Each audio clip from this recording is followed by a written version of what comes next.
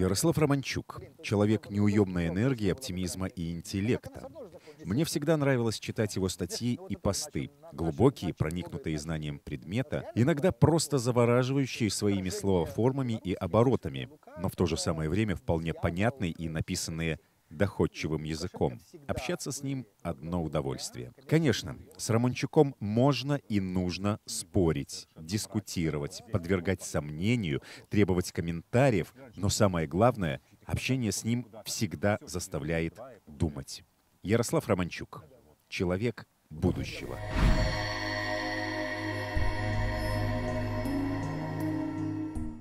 Главный вопрос.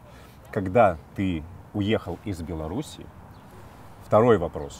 Почему ты приехал именно в Украину? 14 а, июля я пришел на работу 21 года, вот, ни в чем не подозревая, и как бы работал, и через пару часов мне звонок, что у меня в квартире обыск, э, сказали, что подозрение в финансировании терроризма, и, ну и 10-15 минут на сборы, маленькую сумочку для того, чтобы меня не допросили в другом месте. И поэтому я смог как бы вырваться, уехал из Минска э, тропами, совершенно вполне легальными, вот, и переехал через Россию в Украину. А почему не в другое место? Потому что с 2019 года я не въездной Европейский Союз, э, много рассуждая на предмет контрабанды сигарет и вовлечения не только, украин, не только белорусских, но также литовских, польских и европейских партнеров э, сигаретной мафии, я, очевидно, наступил кому-то на больной мозоль. В Европе? Э, ну, в Европе, понятное дело. А, Поэтому отлично. вот так получилось, что я вообще человек, наверное, единственный в мире, который не въездной в Европейский Союз, борясь 25 лет за европейские ценности, и сейчас в Беларуси, потому что там мне грозит 10 лет, а то и расстрел. Так что вот такая ситуация интересная.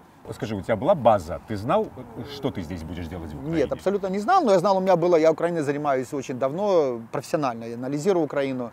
У меня здесь друзья хорошие, однокурсники. И вот э, благодаря однокурснику он меня приютил и, собственно, помог э, со всеми базовыми вещами. Но чем я буду заниматься, я не знал.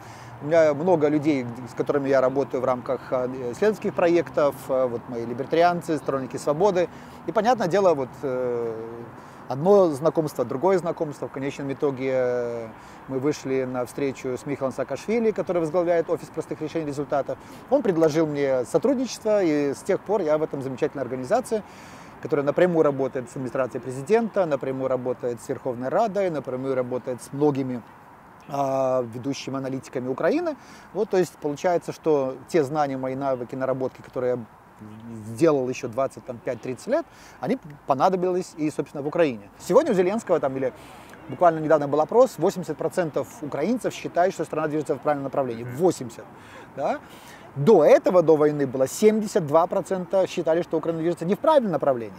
То есть сейчас есть фактор войны, консолидации э, вокруг значит, вот, Зеленского власти за Украину, за победу.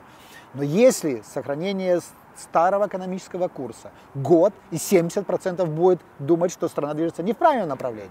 Поэтому вот это вот, э, да, абсолютно, что люди, за что мы э, воевали, за что мы погибали? За то, чтобы был олигархат и схематоз? Нет. За то, чтобы экономика была народной. Как, как должно быть?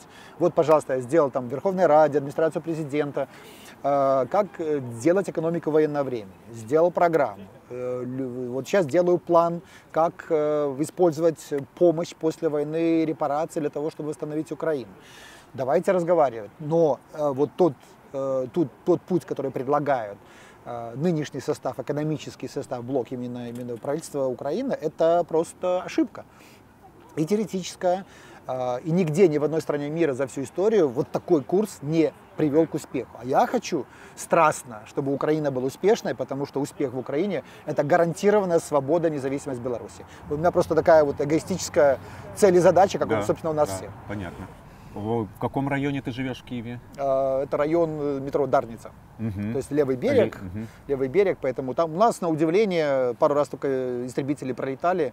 Э, вот. А так, чтобы бомбили не, в соседнем районе бомбили, то есть э, и убитые были, вот. А так, чтобы вот там рядом какие-то разрушения были, нет, потому что чисто жилой район, никакой инфраструктуры критической нету, ничего, парк рядом, поэтому... Ну, есть бомбят не только критическую инфраструктуру, ну, да. прилетает и вот просто в жилые... Ну, вот это вот, я, это знаешь, ну, никто не знает, какая логика у тех людей, которые посылают эти ракеты сюда. Вот, там, я понимаю, когда Джулиан аэропорт, там какой-то там военные объекты. Но когда недавно, буквально неделю назад, там опять э, простое там жило район и э, ракеты, и вот э, журналиста Радио Свобода убило, это, конечно, просто зверство. Ну, это вот нацистская Раша, которая является наследником Гитлер, Гитлера, вот этих, такого же подхода к миру.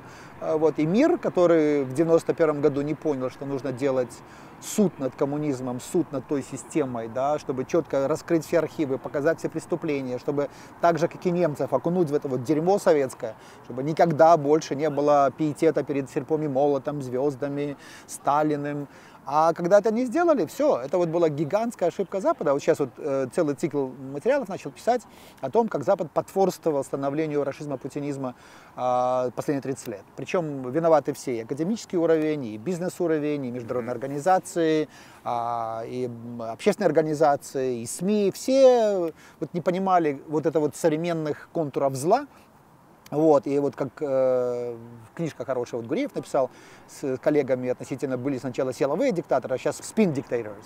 То есть те люди, которые делают э, как бы не на страхе, а на информационных манипуляциях. И мир современный это вот манипуляционные технологии великолепные, реально качественные, которые превращают людей в орков, отрезают полностью э, критическое мышление, неспособность думать. А у меня главный из девизов жизни – люди думайте, это не больно. Поэтому, когда ты призываешь к разуму, ты говоришь, да какой разум? Постмодернизм против разума, там все, да какой разум, эмоции, чувства, отключи разум. А это и есть фундаментальная а, причина того вот появления путинизма, расизма. Потому что отключение разума есть, как бы тогда ты в картинках, тогда ты в клипах, тогда ты в фейках, угу. и все. Да, семья твоя в безопасности. То есть но она не, в Белоруссии, Бел... но да. не с тобой. Не со мной. А, а тоска, Тоска, грусть, любовь. Вот, слава богу, что есть э, связи. Конечно, я тоскую, безусловно, потому что я вот моим детям, маленькие дети, там 9 и 6, да, и поэтому я с ними нянчился все время, когда они были, то есть и пеленки, и шмонки, и прогулки, я с ними проводил э, остаток нерабочего дня, грубо говоря. Поэтому, когда вот это самое большое для них было только шок, и для меня, тем более мы хотели встретиться вот в марте на каникулах, вот, и здесь. ничего не получилось, да, здесь, и не получилось, и это планы уже были, и они переживают, и я переживаю. Ну, есть же хорошо видеосвязь, поэтому вот так это, ну, ну я объясняю детям, ну, об... раз в сто лет бывает война, друзья, обнять, ну, попали. Обнять детенка своего, обнять жену, безумно хочется, напоить безумно. коня, обниму Безум, жену. Безумно хочется, но все, все понимают, я всем объясняю, друзья, мы э, попали опять в зазор эпох. Да, вот между 80-100 лет война. Вот мы думали, что никогда войны не будет, а вот она война. Э, значит, дедушка, бабушка моей жены, они жили буквально там 700 э, метров от деревни Хатынь. И они были свидетелями того, как Хатынь сжигали. Понимаешь, то есть 12-13 лет. И они рассказывали, то есть они вообще, бабушка, дай бог ей там здоровье, счастье на небесах, 93-4 года жила великолепно, а, могла перепить, наверное, любого молодого, то есть она была фантастический такой жизнедеятельный, и голос шикарный был. А люди, люди там в землянках, в бороздах этих жили. То есть это было совершенно другое, и выжили. А что мы не выживем? Мы выживем, переживем этого путиниста, расиста. Но главное, вот что я говорю, сейчас не только там э, загнать его в логово и уничтожить, да, вот расизм, а самое главное э, изменить те, или радикально поменять те э, условия, в которых mm-hmm мы живем, то есть чтобы никогда не допускать ошибок, потому что камбэк случился только потому, что кто-то подумал, что это конец истории, кто-то подумал, что вопрос не в идее, кто-то подумал, что можно расслабиться и опять-таки сделать хорошую версию социализма, марксизма. И вот это вот как бы, когда ты понимаешь, где эти э, струны или где эти э, ниточки, которые привели, собственно, к э, расизму, к путинизму, ты начинаешь все делать для того, чтобы в будущем их никогда не было. То есть как фашизма, вот, гитлеризма, нацизма в Германии, чтобы там на каждый, человек, каждый школьник знал. То же самое и нам. Нам нужно сделать все, чтобы и в Беларуси, и в России, и в Украине это зло никогда не повторилось. А тебя война изменила лично? Появились, может, какие-то новые привычки? Ну, что-то? Вот. А, новые привычки. Два ну, месяца, собственно говоря, два месяца. Там много, мало, я не знаю, но что-то же должно было измениться. Я когда был в Беларуси, я регулярно занимался на турниках, то есть с детьми, да, и у меня был рекорд 44 подтягивания. Угу. И вот э, я решил э, восстановиться, потому что там было какое-то время, когда не было возможности ходить никуда. Вот я сделал себе турник, и буквально неделю назад я сделал 46 подтягиваний. Поэтому у меня вот я каждый день хожу на турник, подтягиваюсь и поднимаю ножки для того, чтобы держать себя в форме. Вот это то, что я делаю. Чего Могу себе. даже видео показать. Я, э, я, свои, я своими там 16-17 раз однажды я подтянулся. Потом, правда, руки не мог ни опустить, ни поднять после этого. Нет, так, вот ты делаешь 46, потом второй раз 35, третий 30, четвертый 25 и 25. Вот у меня 5 подходов. Э, это То есть суммарно блок. это получается больше 100? Да, конечно, конечно. То есть это вот так, э, такая, то есть я обычно в футбол играю, но футбола здесь не было, у меня с ножкой проблемы были с голеностопом. А здесь надо еще как-то, ну, войти в футбол, там, теннис, этого еще нету. Но это я найду, когда уже война закончится. А когда война закончится? Э, горячая фаза закончится в мае, а потом будут какие-то переговоры, потом в зависимости от того, э, как будет ситуация развиваться с расизмом, я думаю, что Путина не будет к концу года уже точно физически его не будет. Ну, неважно. То есть его, он не будет тем человеком, который будет принимать решения. Будет ли он в Гааге на скамье подсудимых, либо в Ирпене на скамье mm-hmm. подсудимых, или в Харькове. Это второй вопрос. Но такого человека, как Гитлера, вот, может, он не до, сам не доживет до этого. Mm-hmm. Но надо показательно судить, все архивы открыть, э, и чтобы весь мир потом показывать, вот, что делать, как это случилось, чтобы все понимали, и э, never ever, никогда, чтобы не допускали этого в будущем офигенно. То есть здесь, в Украине, сейчас творится история мировая?